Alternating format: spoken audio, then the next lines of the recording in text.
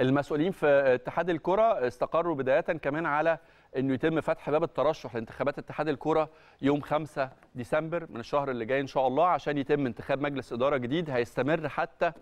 سبتمبر 2024 وتحديدا عقب طبعا انتهاء من الأولمبياد وهتجرى الانتخابات خلال 45 يوم والأقرب إنه يكون أو يتم إقامة الانتخابات يوم 4 أو 5 يناير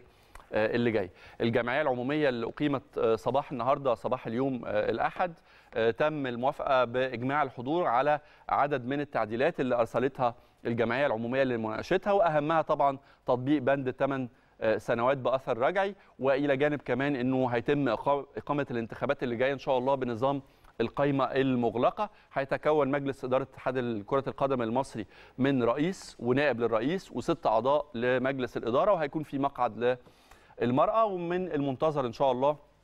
إنه يتم إرسال التعديلات دي للاتحاد الدولي لكرة القدم الفيفا عشان يتم اعتماد قرارات الجمعية العمومية ويتم إرسالها مرة ثانية للاتحاد المصري ويتم بعدها إرسالها للجنة الأولمبية ووزاره الرياضة عشان تعتمدها كجهات إدارية ويتم طبعا نشرها وإقرارها بعد نشرها في جريدة الوقائع المصرية.